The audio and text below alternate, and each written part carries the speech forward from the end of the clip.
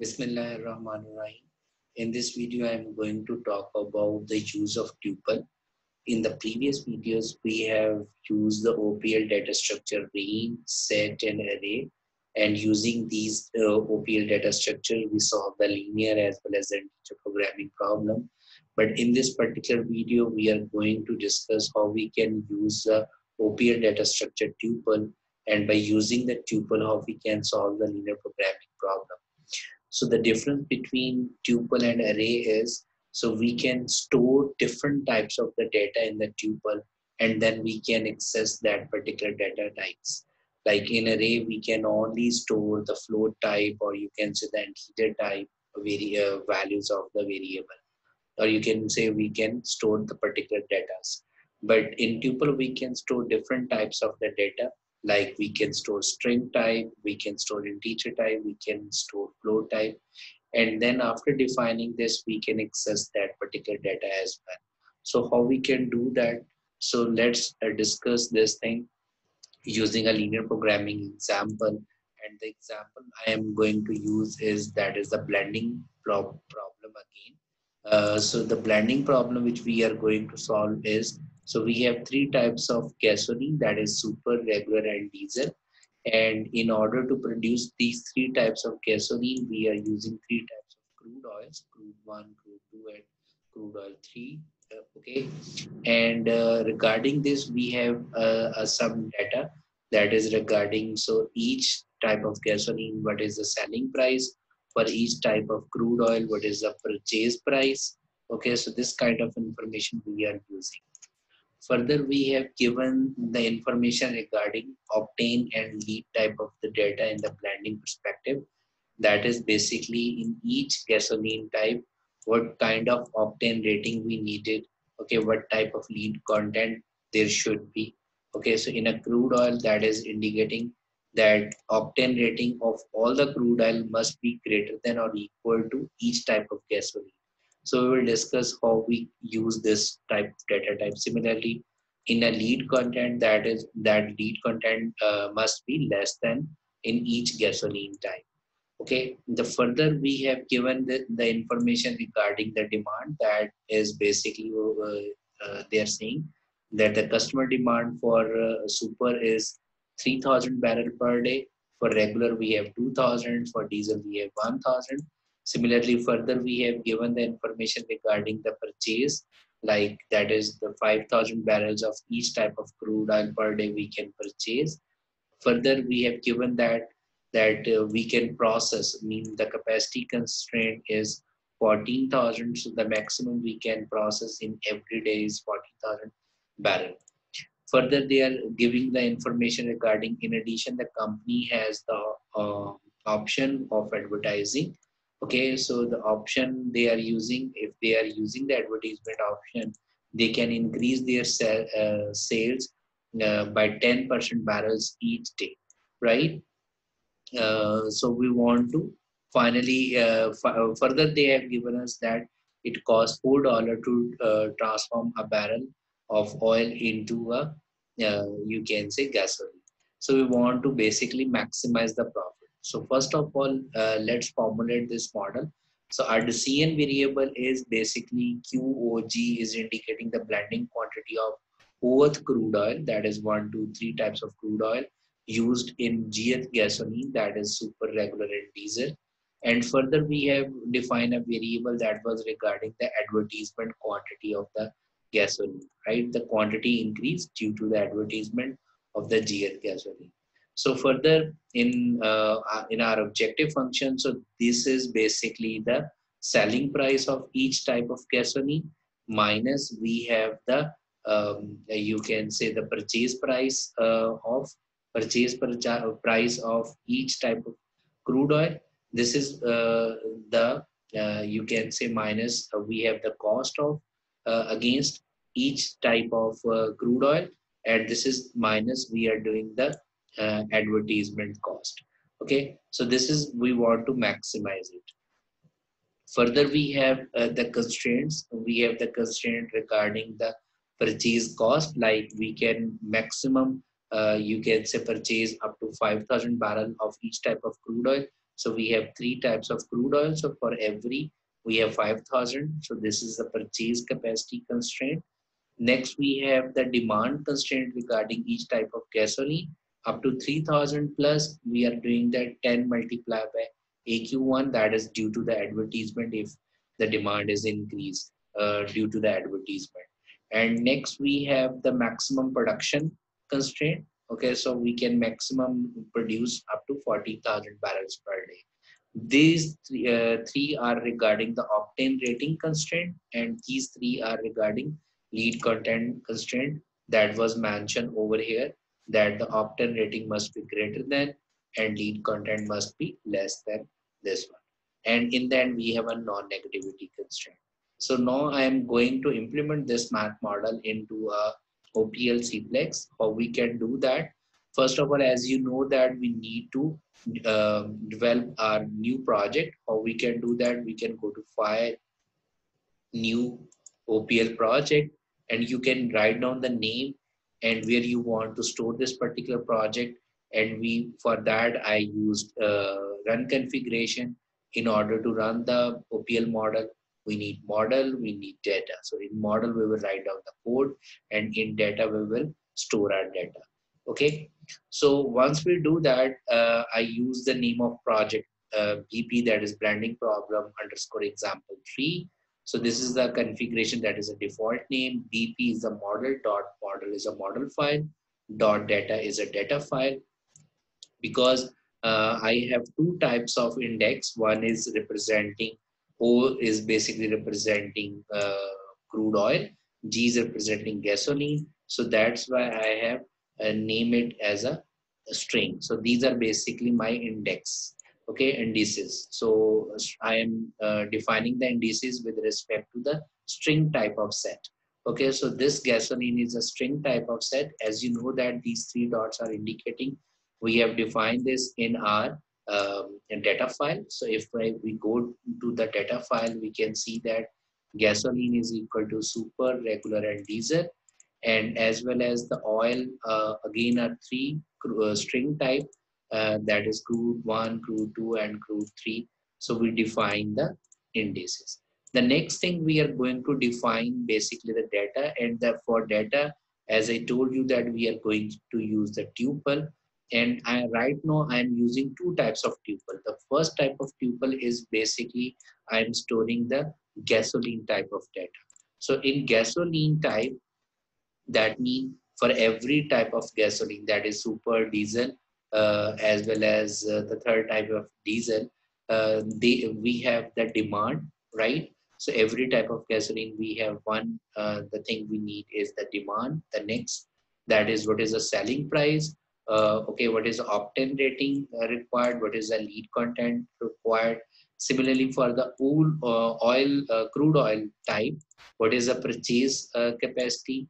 Okay, so maximum how we can purchase what is a you can say price then octane as well as the perspective.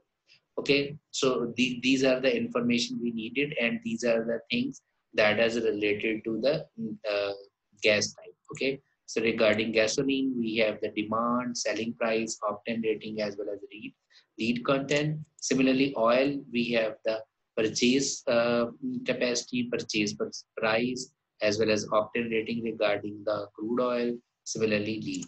Okay and in the end as you can see that these are the four float types. So we uh, uh, although these are the same type of um, you can say data type but uh, as i told you that in a tuple you can store uh, different types of data type variables.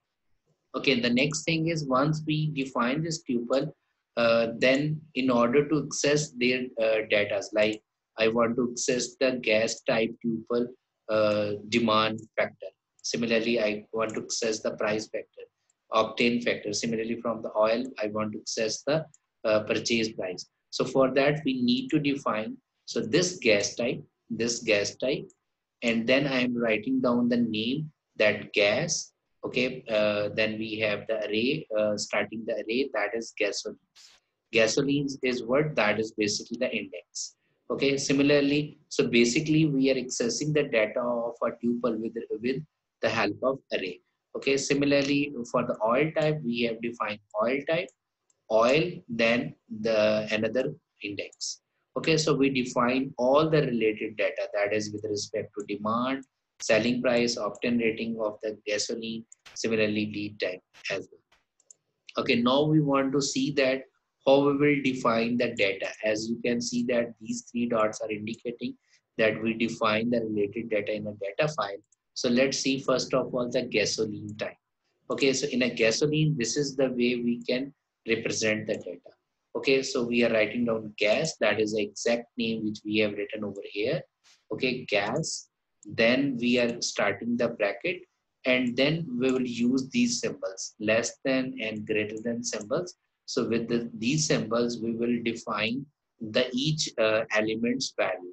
So this 3000 is basically indicating the demand of first type of gasoline, which is basically uh, the super. Okay as you can see that we have the demand of 3000 of for the super right?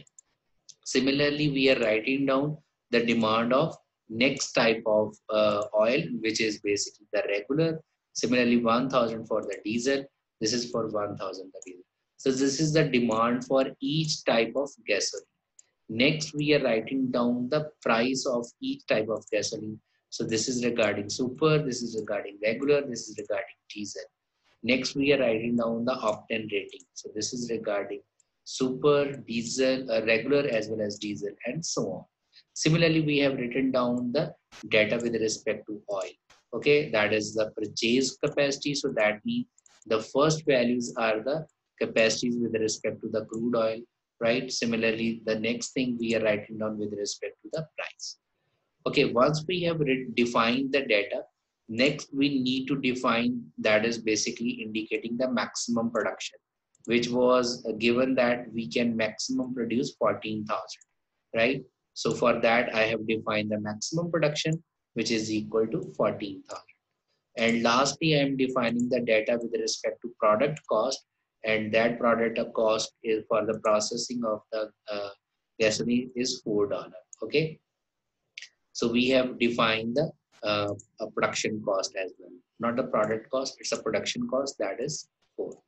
Okay, so once we define the indices, we define the, uh, you can say data. Now we need, uh, need to define the decision variables. So D var, that is a, uh, you can say key in order to define the decision variable, that is D var, that is a decision variable we are indicating float plus as I told you in the previous video as well. The plus is indicating that uh, it can be any fractional value, but it should be positive. Okay, so that is basically the regarding the advertisement of the gasoline. And the next we are indicating the blending variable, which is uh, QOG, right? So this is basically the blending uh, variable, quantity of the blending variable. This is advertisement of each type of gasoline. That is basically we are defining these two decision variables. Now we are going to define uh, the objective function. We want to maximize the profit and sum against gasoline, sum against oil. So this is we are indicating that is now, now you can see how we can access a particular data. That is basically from the gasoline we need price minus oil we need price and we need production cost. So how we are accessing uh, this particular uh, price, we are indicating, so this type of tuple we can access with respect to gas, right? So that's why we are writing down gas. In bracket, we will write down G, that is basically the index. Okay, so G in gasoline, so this is basically the index, which is this one. Then we will write down dot. As you will write down the dot, you can access the particular type of data type. So dot, I, we are accessing the price. So this is price. Similarly from the oil, that is basically the oil type, that is oil. From the oil, we are accessing the price of the crude oil type. Minus production cost, right? That's the production cost multiplied by the blending variable. So this is basically the, uh, you can say the overall um, uh, uh, uh regarding the profit, we have basically the price uh, minus production cost and in the end we have the advertisement of the gasoline cost right okay so this is my overall objective function we want to maximize the profit. Next, we have uh, the constraint. The first constraint, as I shown you earlier, that was regarding the purchase capacity constraint of each type of crude oil. So this is basically how we are writing down for every crude oil, the mean for every type of crude oil. So the blending quantity must be less than or equal to the purchase uh, capacity. Again, we are accessing oil, uh, then array dot purchase capacity. Next, we are writing down the demand constraint. As you can see that this is the demand constraint. Okay, so we are writing down for every gasoline, sum over O in oils, that is basically the blending quantity must be equal to the uh, demand plus the advertisement, right? So right now I am over here it could be better to write down equal if you want to fulfill exactly. But if you want to write down less than or equal to, so it's up to you. That means it could be equal or less. Then in the end, we are writing down the production constraint. Okay, so that is, this is the maximum production constraint that quantity cannot be more than the maximum allowed production. And we have, uh, next we have the octane rating constraint. So this is the octane rating constraints, right? that is basically for every gasoline the sum must be fulfill this constraint and in the end we have the lead content constraint so once we have written down those cons uh, constraints uh, i'm not explaining in detail the constraint that due to because we have already discussed in our previous videos so if you haven't watched those videos you can go over there and to check how we can define these constraints using for all as well as the sum function. So now once we have written down the uh, complete model as well as we have defined the data, now we need to run this model. So we can drag and drop the model as well as the data in a configuration, right click, run this. Okay, right now OPL start solving this problem. So as you can see that right now it's solving yes now we got the solutions over here the objective is that is the maximum profit and these are the answer of the decision variable which you can also check in our solution tab so this is the optimum objective function right now the status is optimum. This is uh, indicating uh, the blending quantity of uh, using crude oil one of the super. This is indicating uh, the using crude oil one of uh, the next. That is I think so regular as well as diesel. So this is indicating the production quantities as well as this is indicating uh, we are doing the advertisement only for the regular type of gasoline, not for the others we are doing the advertisement. So these are the quantities answer. Uh, similarly, you can see the statistics the objective function answer, the number of constraints, the number of variables, and so on. So thank you so much. I hope you understand how we can use the tuple uh, to declare the data of the linear programming problem and solve the linear programming model using OPL Cplex. Thank you so much. See you in the next video.